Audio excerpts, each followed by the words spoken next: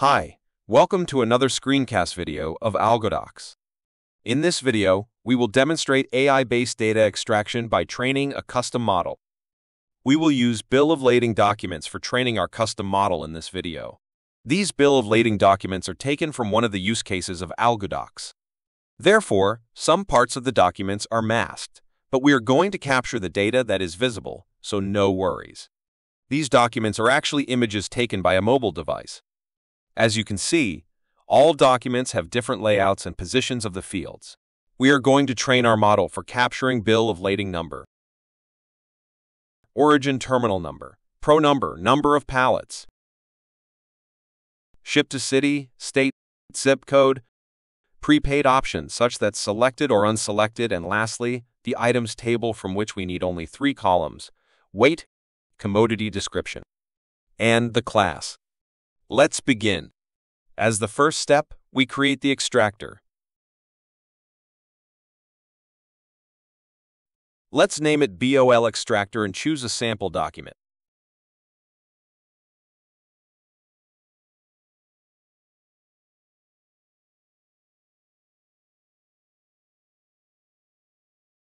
After the pre-processing operation completed, we go to the extractor editor. AlgoDocs offers different extraction methods, but we are going to use a custom model option, which takes us to the AI custom model editor. The sample document that we uploaded when creating the extractor is now being processed. Getting AI custom model ready requires two mandatory steps, which are labeling of documents and training the model. The last step is used for post-formatting of captured data by the model, which is optional. We start by uploading more files for labeling. We should have at least 10 labeled documents to be able to train the model. Our first document is already uploaded, so we select remaining 9 files. We leave last two files because we will use them for testing the model. It is advised to label more than 10 files for more complex cases, so we can label hundreds or thousands of documents for the model to produce high accuracy results. Next, we create the fields on the right pane. When adding the fields, we also specify their types, which are field, table, and selection mark. In our case, prepaid is going to be a selection mark, items is a table, and remaining ones are all fields. We add bill of lading number.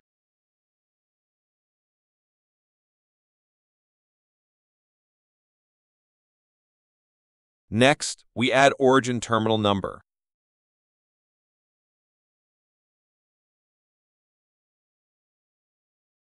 Then, we add pro number.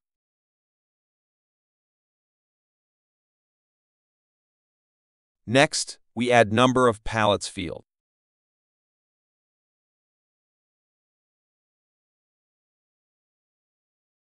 Now, we continue with ship to city.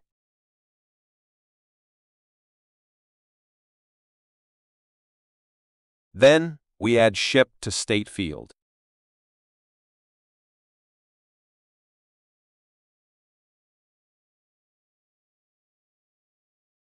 Then, ship to zip code field.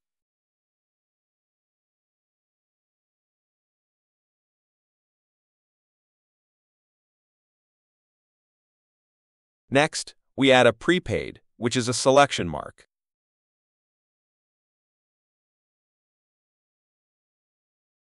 Finally, we add items table. We set three columns, which are weight, description,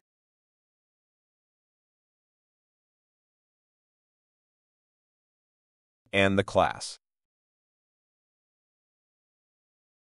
Now, we start labeling the documents.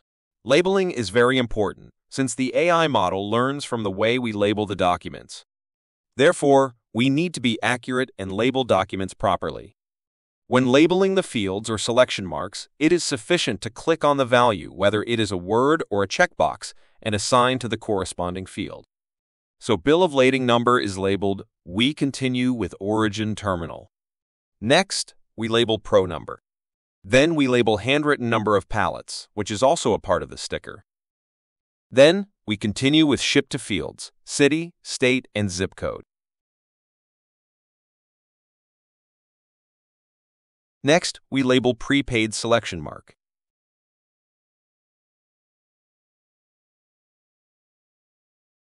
When labeling a table, we have two options. One is to use auto-label, and the second is to label manually.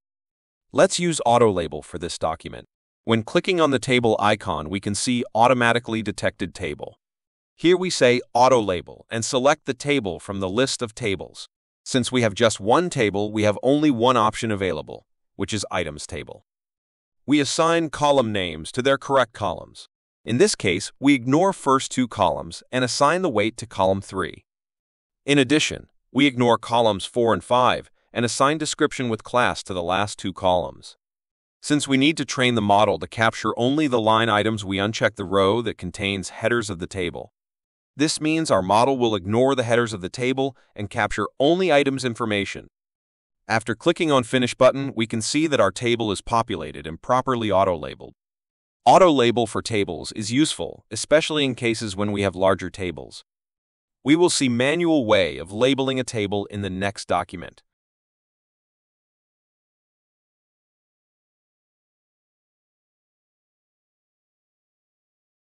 For this document, we follow the same steps for labeling the fields in a selection mark as we did in the previous document.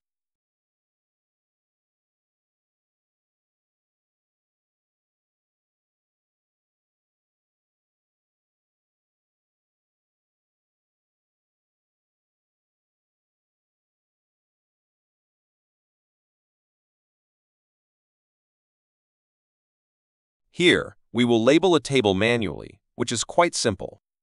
We just select the words on the document and assign them to their corresponding cells on the table. That's it.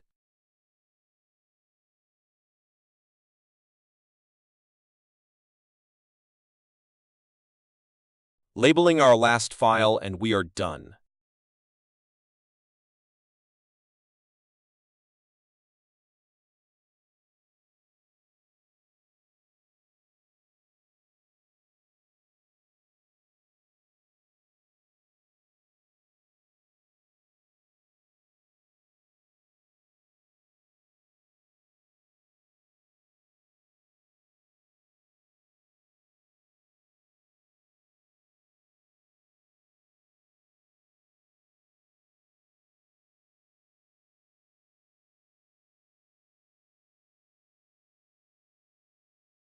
After labeling all the documents, we continue with the training step. Here, we initiate the training of the model by clicking on the Train button and confirming that we labeled all files properly. The training process may take up to one hour depending on the number of documents you labeled.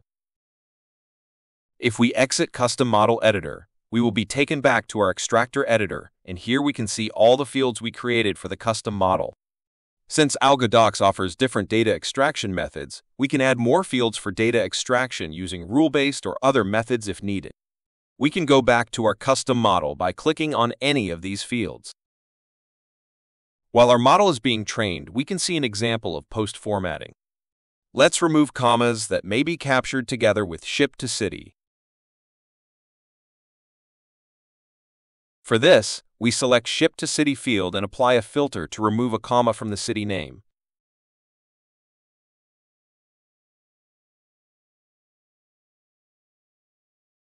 That's it. The training of our model will take more time, so I will come back when the training is completed. Now, the training of our custom AI model is completed and we can test our model by uploading files that we did not use for training.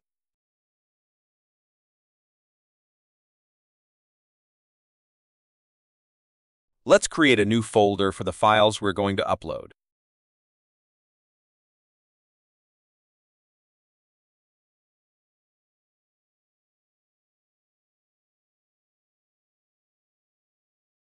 We right-click on the folder and select our extractor for which we will upload the documents.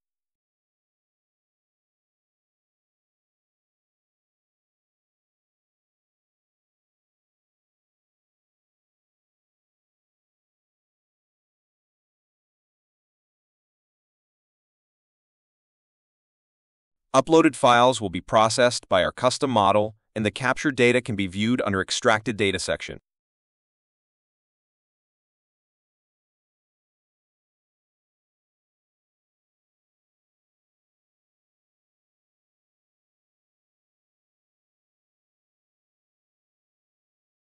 As we can see, the data is successfully extracted from the documents we have just uploaded.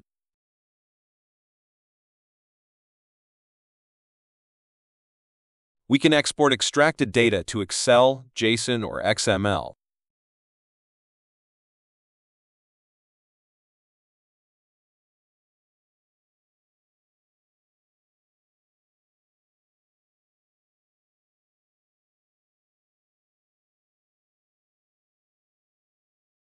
Additionally, we can review captured data by our model and apply corrections if needed.